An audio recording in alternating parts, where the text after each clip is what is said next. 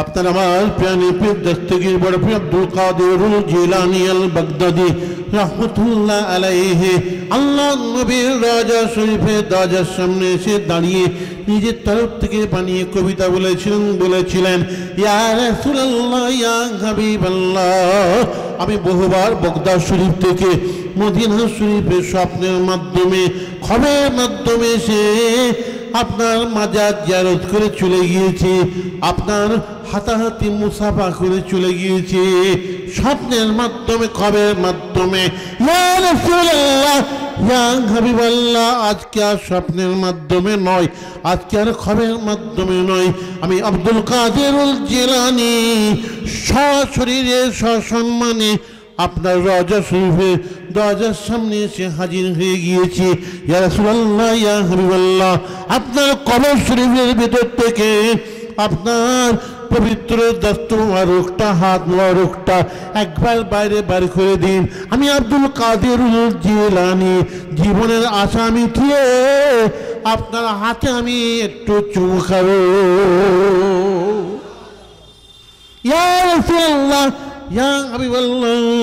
আপনি আপনার কবরের ভিতর থেকে দাঁত মরকটা হাত মরকটা একবার বাইরে বার করে দিন।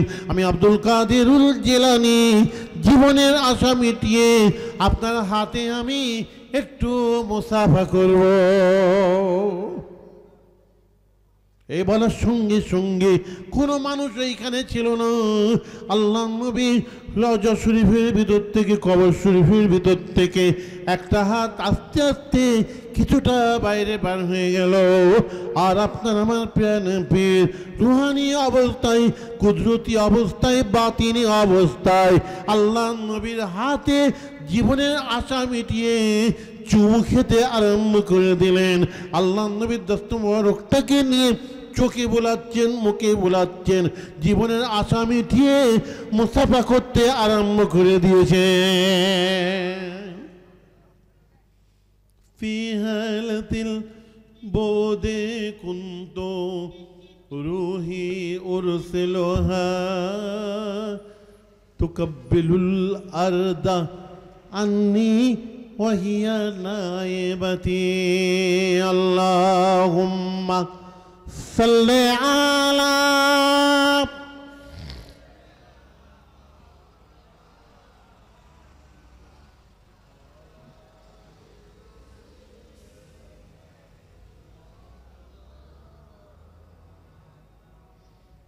আল্লাহ নবী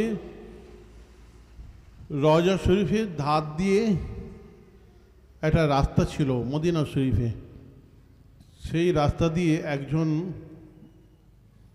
আরবি বিধর্মী অমুসলমান। মাথার চুল উস্কো খুস্কো হয়ে আছে।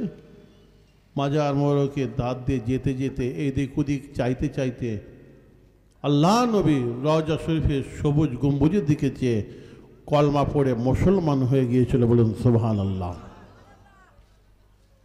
মদিনা শরীফের মানুষেরা বলেছিল, ভাই আপনি এদিক ওদিক তাকাতে তাকাতে আল্লাহ নবীর রজা শরীফের সবুজ গম্বুজের দিকে চেয়ে কলমা পড়ে মুসলমান হয়ে গেলেন কেন? তখন ওই আরবিটা, ওই বিধর্মীটা, ইহুদিটা বলেছিল, আরবিতে চাল্লাইন কবিতা মর তো আল্লাহ কবুরিন নবী মোহাম্মদিন। تكلمني والقبر غير متكلم وبالقبر أثار النبوة قائم وتصد فيه قلب كل مسلمين ওই বিধর্মীটা আরবিটা বলেছিল অত শত জানি না আমি এই রাস্তা দিয়ে হেঁটে হেঁটে যাচ্ছিলাম, যেতে যেতে এদিক ওদিক তাকাতে তাকাতে আল্লাহ নবী মোহাম্মদুর রসুল্লাহ সাল্লাহ আলাইসাল্লামের রাজা শরীফের সবুজ গম্বুজের দিকে যখন আমার চোখটা পড়ে গেল, কি জানি কি হলো, আমার অন্তরটা কম্পন আরম্ভ হয়ে গেল, আমার অন্তরটা কাঁপতে আরম্ভ করে দিল, আর আমি থাকতে পারলাম না। কলমা পড়ে মুসলমান হয়ে গেলাম।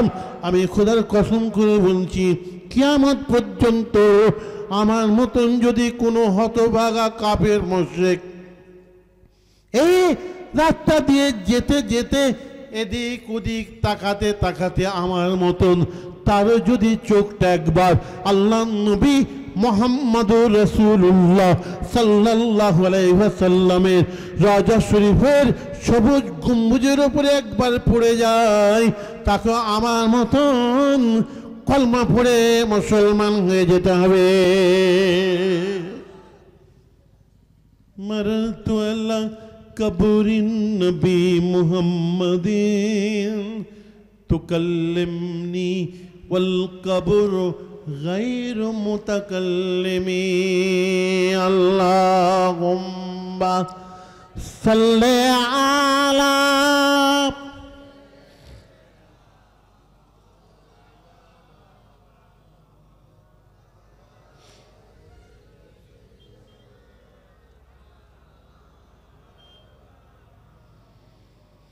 আমি আপনাদের সামনে কিছু আরবিতে, ফার্সিতে কবিতা পড়েছি। আমাদের পীর মাসায় কলি আউলিয়ারা যাদের সঙ্গে আমরা সম্পর্ক, সম্বন্ধ রেখে দিয়েছি, এরা সব বড় বড় কবি ছিলেন। কবিতার বই পর্যন্ত এরা লিখেছেন, আমি আগে বলেছি।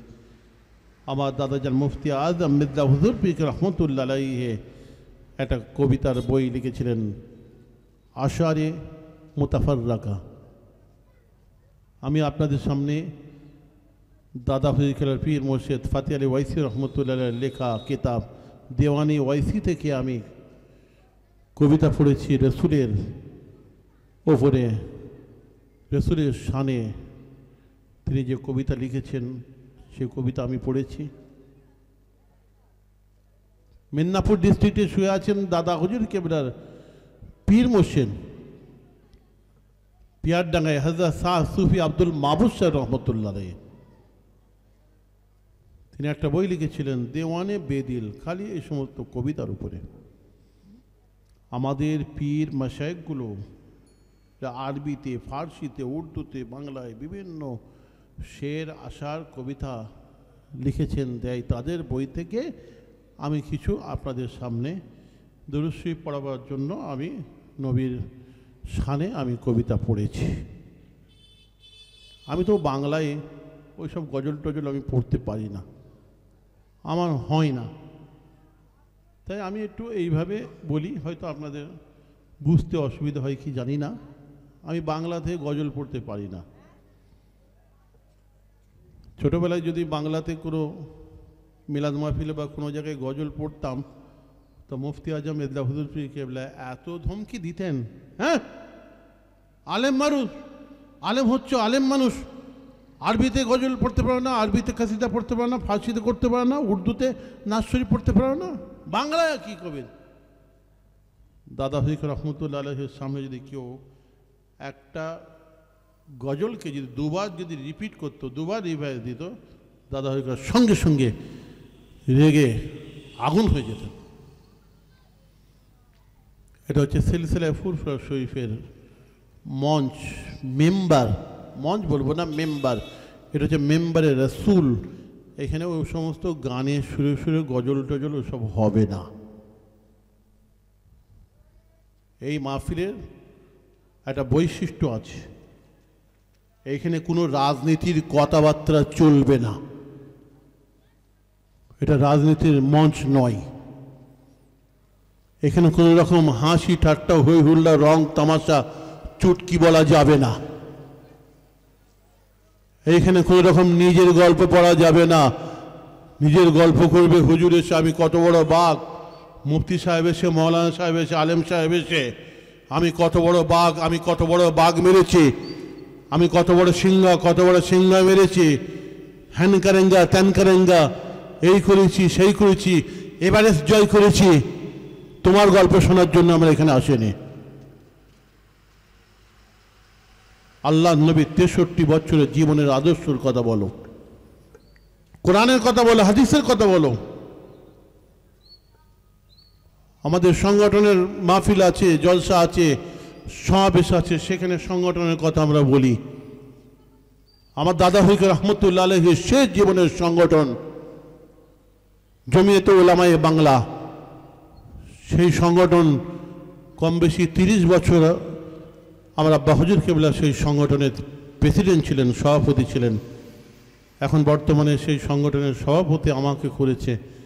সারা বাংলায় তাহফুদের দিনের উপরে, খেদমতে খালফের উপর খালকের উপরে আমরা কাজ করছি। যদি সংগঠনের গল্প করি, অবশ্য এটা নন পলিটিক্যাল সংগঠন। সেই সংগঠন যদি গল্প করি, শেষ করা যাবে না। কিন্তু আজকে এটা সংগঠনের মসজিদ নয়। সংগঠনের সমাবেশ নয়। এটা হচ্ছে মেম্বারে রসুল শাহ অলিউল্লাহ মুহাদ্দেস দেহলেবি রহমতুল্লাহ আলাইয়ের আল কাউলুল জামিল কিতাবটা খুলে দেখেন কে এখানে বসবে ওয়াজ করতে আইয়াকুন আলমান অমহাদ্দেসান অমুফাসিরান অফকিহান অবালেগান ওয়ারিয়ান তাকে আলেম হতে হবে তফসিরের উপর জ্ঞান রাখতে হবে। হাদিসের উপর জ্ঞান রাখতে হবে। শেখার উপর জ্ঞান রাখতে হবে। তাকে উপযুক্ত হতে হবে, বালেগ হতে হবে এবং তার অন্তরে আল্লাহর ডর ভয় থাকতে হবে খোদা বেরো মানুষ হতে হবে। আজকে ওইসব শুনে কি হবে? কিছু কিছু মানুষ বলে যে, ইতিহাস শুনব, বক্তার সম্রাটকে নিয়ে এসো।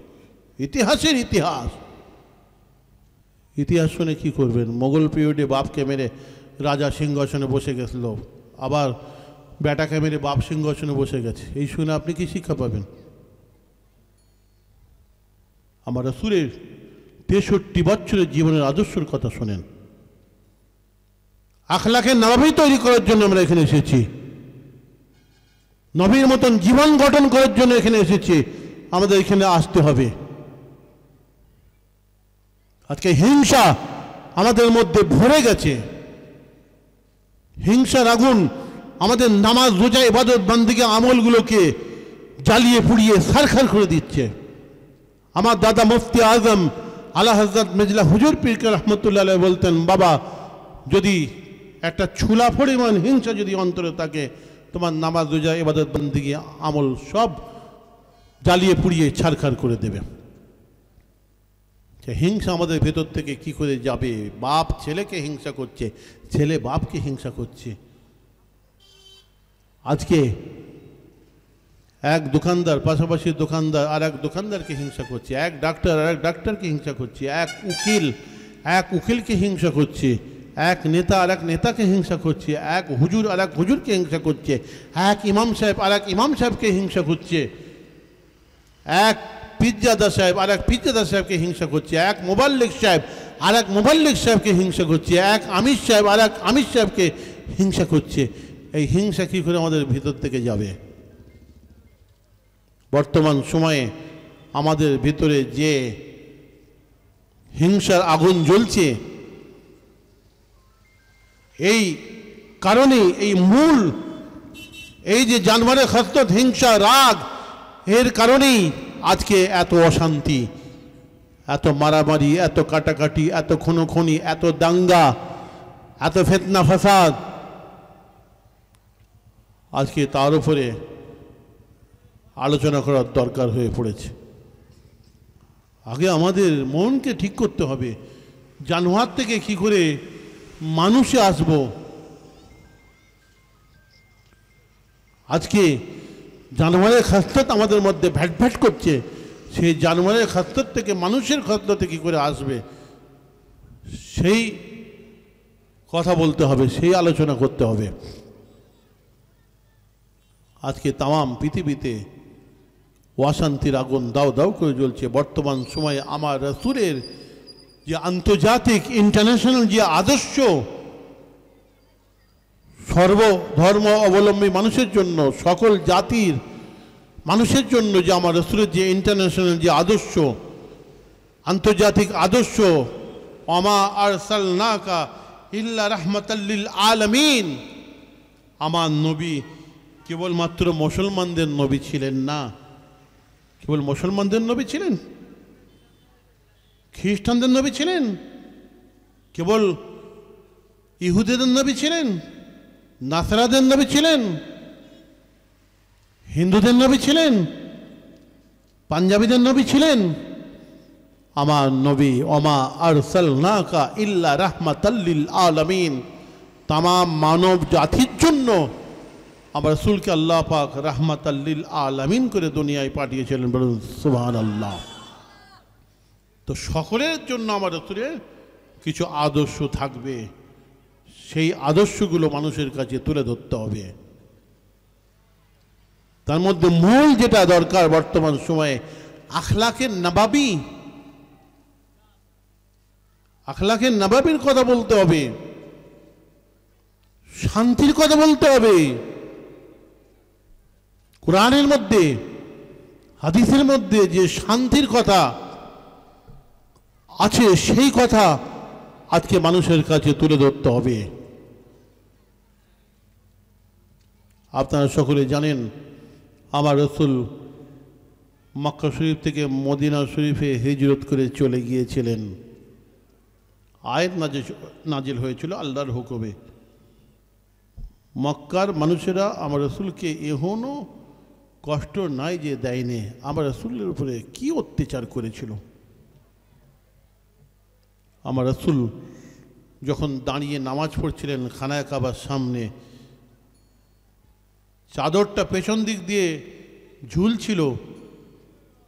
চাদরটা নিয়ে গলায় পেছন দিক থেকে একটা ফাঁস দিয়ে এত জোর টান মেরেছিল মক্কার কাফের মোশেকরা। আমার রসুল একদম মক্কার জমিনে চিত হয়ে পড়ে গেলেন। আহা, আমার রসুলকে টানতে টানতে নিয়ে গিয়েছিল। হাতেমের সামনে আমার রসুল নামাজ পড়ছেন, যখন সেজদা হালতে গেলেন কমবক্তা উদ্বা এসে মরা উঁটের নাড়ি ভুড়িগুলো আমার রসুলের মাথার ওপরে, গর্দানের ওপর চাপিয়ে দিয়েছিল। দম বন্ধ হয়ে যাচ্ছিল সেই দিন সেজদা থেকে মাথা তুলতে পারছিলেন না। আম্মা জান ফাতেমা তুজোরা রাদি আল্লাহ আনাহা আম্মা সেই দিন দূর থেকে আব্বা অবস্থা দেখে বাচ্চা মেয়ে ছেলে আট ন বছর বয়স দৌড়াতে দৌড়াতে এসে কচি কচি বাচ্চা বাচ্চা দুটো হাত দিয়ে আব্বা জানের মাথার উপর থেকে মরা উঠেন নাড়ি ভুঁড়িগুলোকে দু হাতে করে তোলার চেষ্টা করছে। আহারে বাচ্চা মেয়ে ছেলে, গায়েতে শক্তি নাই, তাকত নাই, তুলতে পাচ্ছেন না। কিতাবের মধ্যে লেখা আল্লাহ পাক সেদিন গায়েবী একটা মাদার দিয়েছিলেন। সেদিন আম্মা জান ফাতেমা তুজরা রাদিয়াল্লাহু তাআলা না অত ভারী মরা উটের নাড়ি হুড়িগুলোকে দুহাতে করে তুলে কিছুটা দূরে ছুঁড়ে ফেলে দিয়েছিলেন। দুটো হাত তুলে ঝরঝর করে কান্দে কান্দে ওদের নাম ধরে ধরে আগুলে ইশারা করে সেদিন বদ্ধ করেছিলেন। বন্দুকের গুলি মিস হয়ে যেতে পারে। কিন্তু আম্মা জান ফাতেমা তো রাদিয়াল্লাহু আনহার কিন্তু সেই দিন মিস হয় না। প্রত্যেকটা কারেন্টের মতো যে লেগেছিল কি কষ্ট দিয়েছিল আমার রাসূলকে।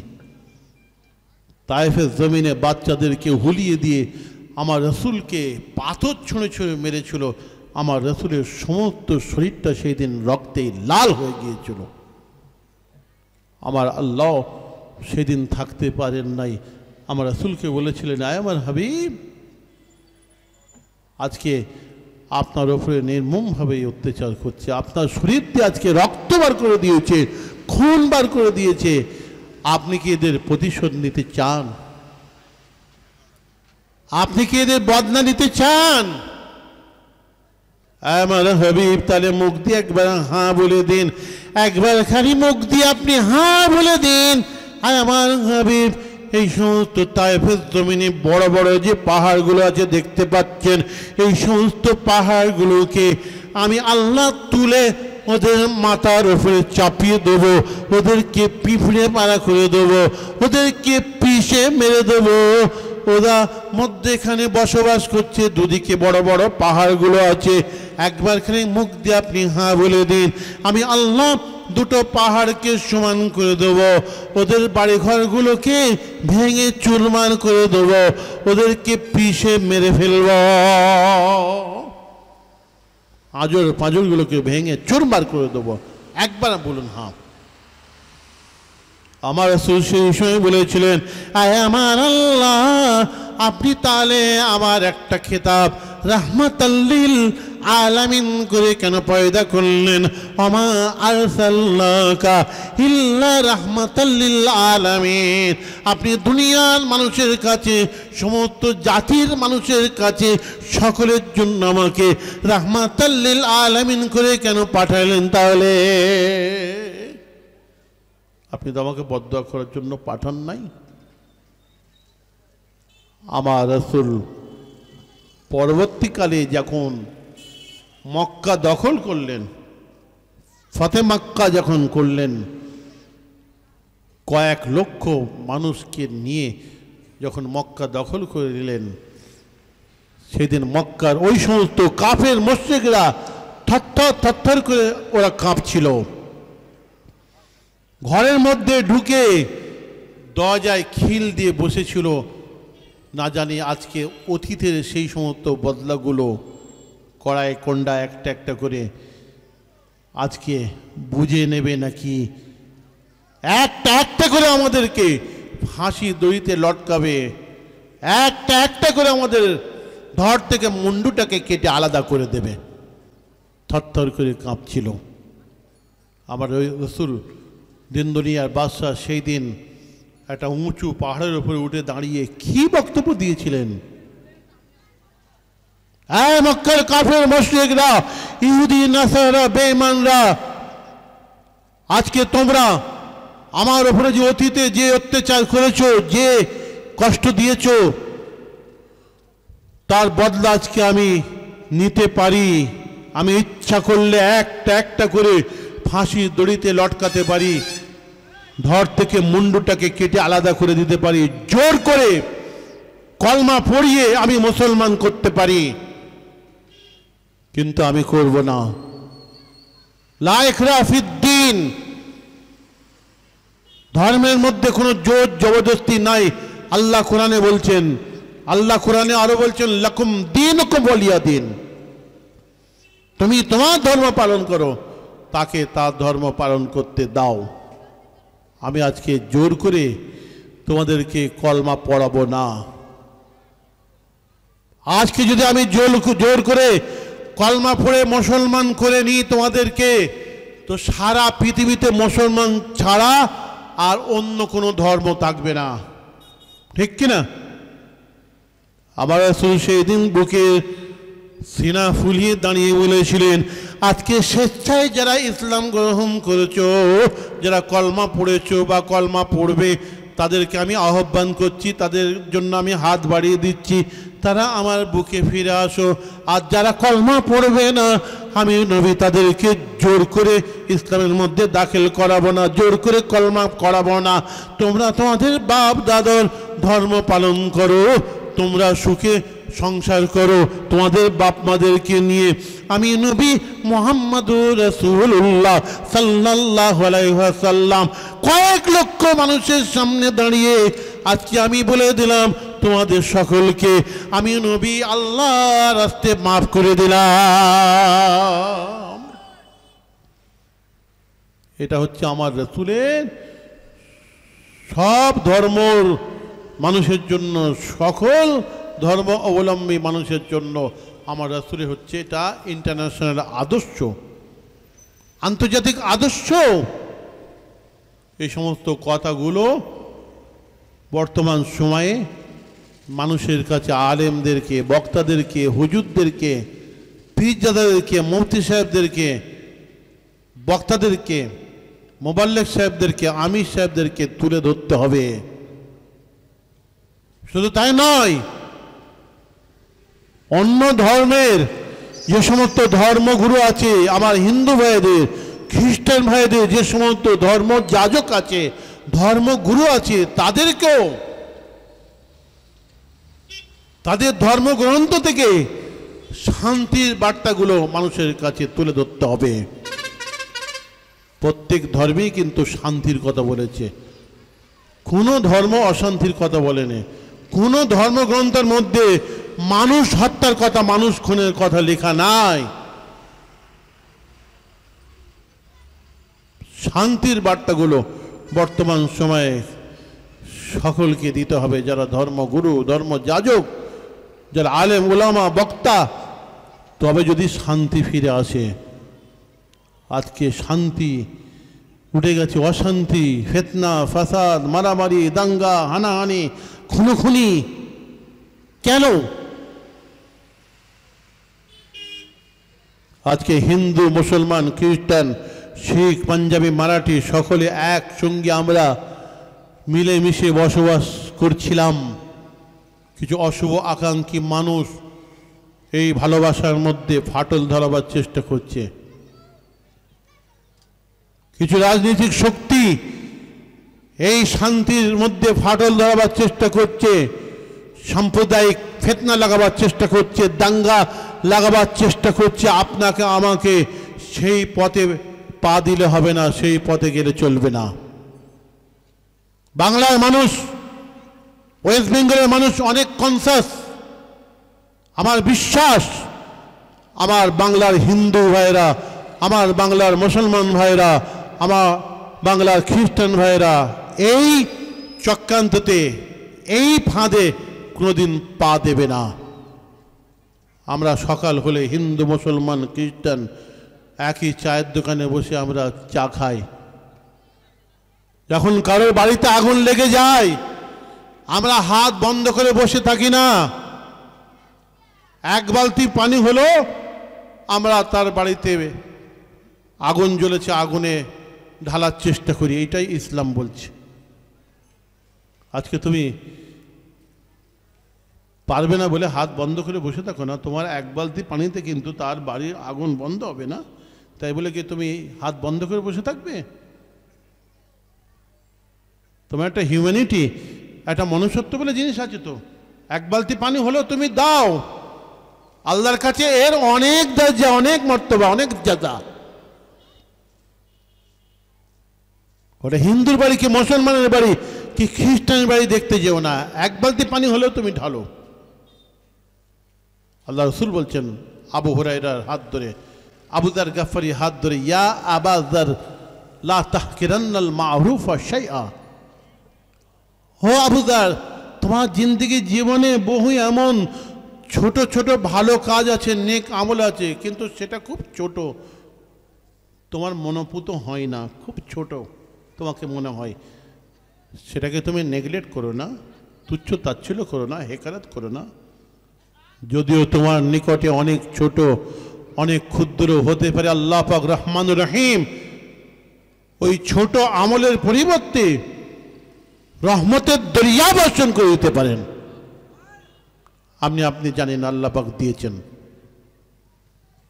আপনি নামাজ পড়ছেন, সামনে একটা খাল আছে, খালের ওদিকে একটা অন্ধ মানুষ হাতে লাঠি নিয়ে টকরাতে টকরাতে আসছে। এবারে খালে পড়ে যাবে। ইসলাম বলছে, নামাজ ছেড়ে দিয়ে আগে ওই অন্ধ মানুষটাকে যে বাঁচান। ওই হিন্দুকে, মুসলমানকে, খ্রিস্টান দেখতে যাবেন না। আপনি নামাজ পড়ছেন, সামনে একটা কুয়া আছে।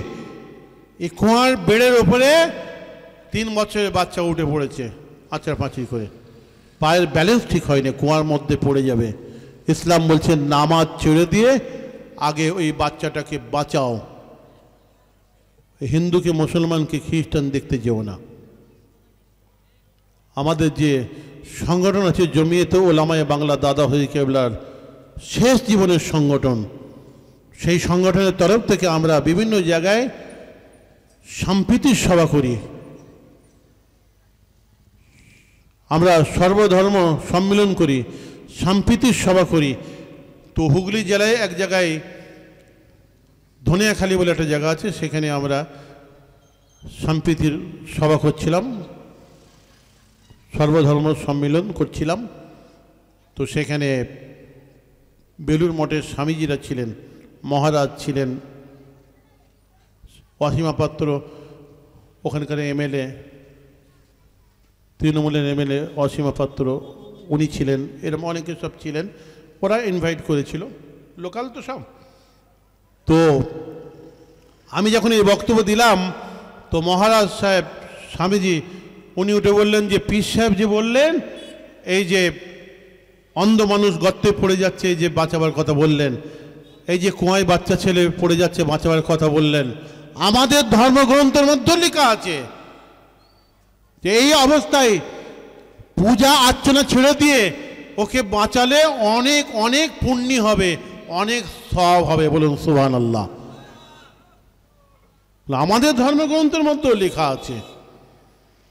আগে আপনি ধার্মিক হন, তারপরে তো আপনি অন্য ধর্মে সম্মান দিতে পারবেন।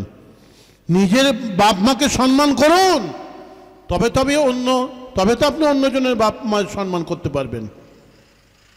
প্রকৃত আমাদেরকে ধর্ম বুঝতে হবে, ধার্মিক হতে হবে আগে। কি হিন্দু, কি মুসলমান, কি খ্রিস্টান, কি শিখ? আমি বলেছি, প্রত্যেকটা ধর্মগ্রন্থের মধ্যে কিন্তু শান্তির কথা বলা আছে। মানুষ হত্যার কথা, খুন খাবের কথা, কোনো ধর্মগ্রন্থ লেখা আমার চ্যালেঞ্জ হইল আমরা নোংরা মনের মানুষ, আমরা অশান্তি করি। আর যারা অশান্তি করে, তাদের কোনো ধর্ম নাই। জেনে রাখবেন। তারা হিন্দুও নয়, মুসলমান নয়, খ্রিস্টান নয়, শিখ নাই তাদের কোনো ধর্ম নাই। এটা মনে রাখবেন। তো আমার রসুল পাকের যে ইন্টারন্যাশনাল যে আদর্শ, এই আদর্শগুলো বর্তমান সময়ে মানুষের কাছে তুলে ধরতে হবে। তবে আমাদের মনটা ভালো হবে। আগে ওই মনটাকে ঠিক করুন তো।